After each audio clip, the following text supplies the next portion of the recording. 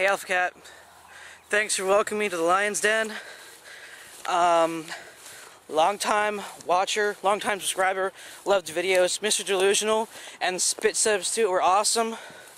Um, this is my first video response, however, and as you can see, I am making this video in the middle of fucking nowhere. See? Nothing. Well, not exactly nothing. There's pretty tree. That's pretty much it. So for your benefit, I'm filming in front of a pretty tree with the sun kind of in my eyes. Uh, well, you can't really see the pretty tree, so should I do like that? No, no, okay. Anywho, shit. Ugh. Hide under the trees. Let's see. Okay. Yeah, I'm filming from the middle of fucking nowhere simply because I've already tried to make this video twice. The first time, I was had my room looking all nice, so I went and put the camera on top of the dresser and pulled out a chair and sat in front of it to do the video. But since my dresser's high and I'm not extremely tall, I had to be sitting on a couple of my textbooks to do that. And my camera screwed up and I couldn't upload that video. If I could have, this video would have been uploaded three days ago. So I tried to remake the video again this morning and I was almost done with making the video when somebody in the house wakes up and wants to nag at me for 10 minutes because I don't answer the phone when telemarketers call. And it woke them up. And seeing as my camera's screwed up and if I can't make the video in one take, I've got to start over simply because if I have multiple takes on a video and I put them all together or try to load them in separately to my editor, they won't complete right and I can't finish the video. It won't even upload right.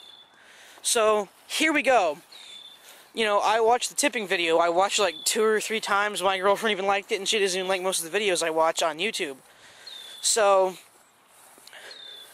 I watched the video, and even though I'm not black, I felt compelled to add my own two cents into your tipping video. No pun intended. Um, basically, how I feel about tipping, and I mean, I know waitresses and waiters and servers of all kinds make shit wages, but this is just how I've always felt about it and I promise I'm not quoting Reservoir Dogs, Reservoir Dogs or anything, but that's just how I feel. Um, I think that tipping is dictated by quality of service, and um, if you are a horrible server, you shouldn't get a tip. Um, if you're a mediocre server, you'll get a small tip, and if you are a awesome server, then you get an awesome tip. Like, for example, I've had plenty of horrible service in restaurants. I think it's a Texas thing where there's mostly horrible servers in every restaurant you go into. Of course, then again, I don't eat at fancy restaurants. I was working in my three major jobs that I had was a bookstore, a, a warehouse, and Walmart. I also did foundation repair for a while. So, you know, I didn't really have the Benjamins to be spending at a fancy restaurant. So I, you know, local eateries and stuff. And so one time I went into like this little 24-hour uh, uh, diner, breakfast, Waffle House type place. And I go in there and I order my food and I order some coffee. And the coffee shows up and the coffee's not fresh. It had been sitting there for a few hours. I mean, I know it's late, but a lot of people go in those places late. Especially my neighborhood because all the junkies would go in there late at night to get their food. So, I get my coffee and the coffee's not fresh. And my shoes are all wet. So I get my coffee, the coffee's not fresh, and that really ticked me off, because going to a place like that, I expect fresh coffee, seeing as they serve breakfast 24-7, so they always got the coffee on, you know? Then I get my food, and uh, I pull the silverware out of the napkin, the silverware is still dirty. I point this out to the to the waitress and tell her the spoon's dirty. She says, "Oh, I'm sorry." Wipes it off on her apron, and I'm like, "No, I want another spoon and fork, please."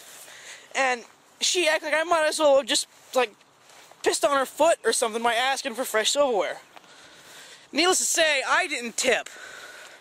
Now, but there's other also times there's like three times in my entire life where I've had service good enough to warrant a really, really good tip.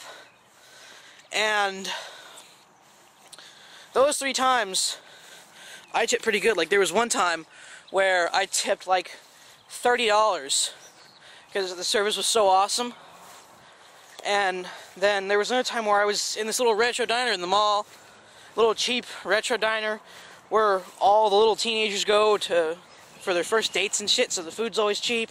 And I ordered a burger and a shake. And they were damn good burgers and a really good shake, and the waitress was pretty cool. So, I mean, the check was like, like barely, it was like under $10, but almost $10. And I tipped an additional 15 I mean, you know, ooh, I tipped an additional $15 on a $10 check, but you know, hey, I'm the kind of guy who, if the service was worth it, then I'll tip. But if it's not, then I don't.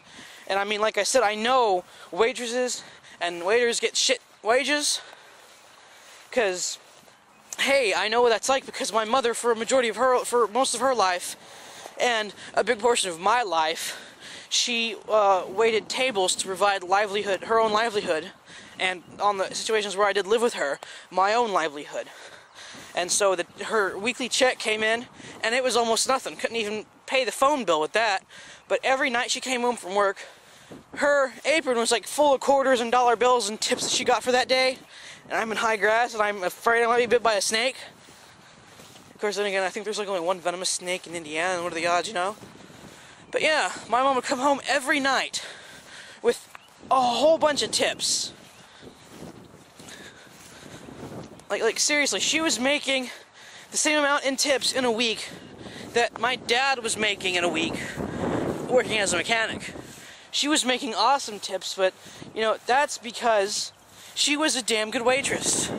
All the people, well, not all the people, but a lot of the regulars of that restaurant came in and ate at that restaurant every day just because my mom was the waitress there. And then when she left the restaurant, there was a lot of people that stopped coming to it. But I mean, you know, hey, that's my thing. This video probably would have made a lot more sense, would have been a lot more interesting, and wouldn't sound as stupid if this wasn't the third time I had to try and make it. So, sorry for that. The uh, next video response I make, because I'm pretty sure since your videos rock, I'm going to continue to make video responses. Um, so yeah, that's all I got. If you feel compelled to speak up and comment on what I have to say, uh, video response or a text comments, welcome. Um, take a look at my videos if you like, do whatever. Um, but yeah, I enjoy watching your stuff and I enjoyed making a video response. So thanks for welcoming me to the Lion's Den. I'll make sure not to feed the animal on my way out. Adios.